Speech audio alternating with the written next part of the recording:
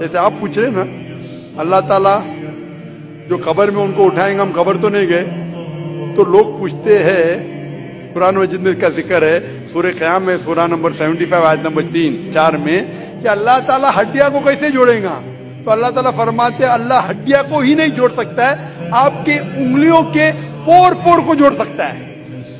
उंगलियों के पोर पोर आप सोचते हो अल्लाह ताला क्यों कहता है, क्या उंगलियों के पोर पोर को जोड़ सकता है? आज की साइंस ये कहती है सर फ्रांसिस गोल्टिन एक साइंटिस्ट है, जो सन 1880 में एक डिस्कवरी किए कि फिंगर प्रिंटिंग मेथड के दो इंसान करोड़ों लोगों में भी उनके फिंगरप्रिंट यकसा नहीं हो सकते. तो अल्लाह ताला फरमाते, हड्डियों को तो छोड़ो, मैं आपके उंगलियों के पोर पोर को इकट्ठा कर सकता हूँ और हु बहू वैसे पैदा कर सकता हूँ। तो अल्लाह के लिए फिर से जान डालना बहुत आसान है।